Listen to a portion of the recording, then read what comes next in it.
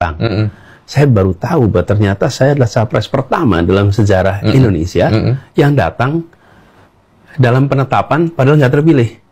Oh, jadi selama, ini boleh dicek. Saya juga baru tahu sudah itu rupanya. Ini yang uh, di, apa di KPU yang ada Pak Prabowo itu. Ya. Oh, yang Bapak dipegang-pegang itu. Ya. Oh, iya. Jadi selama ini, selama ini yang datang hanya yang menang.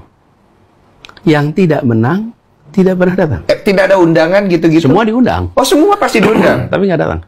Pak Ganjar nggak datang soalnya. Nggak, coba dicek aja. 19, 14, 94. Nah, iya. 2004 iya. ya. Oh, nah, iya, iya. nah, saya juga baru tahu sesudahnya. Lah, Bapak kenapa datang? Ya itu karena saya bilang saya menghormati prinsip demokrasi, marna, marwah bernegara. Saya datang saat penetapan calon, saya juga datang saat penetapan hasil inilah demokrasi. Cuma netizen ada yang nanya, Bapak nggak malu? Maksudnya datang kan di situ, maksudnya Bapak posisi kalah kan, maksudnya. Hmm.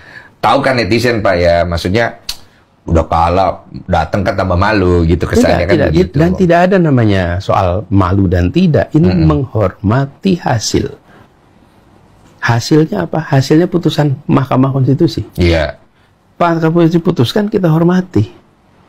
Fair. Nah, inilah yang kita kita sebut sebagai namanya bernegara nih begini. Berdemokrasi nih begini, ini begini. nih. Kalau yeah. tidak, kalau marah, kalau sekedar marah-marah aja nggak usah ikut demokrasi. Yeah. Hadir adalah menghormati keputusan Mahkamah Konstitusi. Penyimpangan tetap penyimpangan dan penyimpangan harus dikoreksi dan itu tidak boleh dilupakan. Oke. Okay. Anda boleh memaafkan tapi jangan melupakan.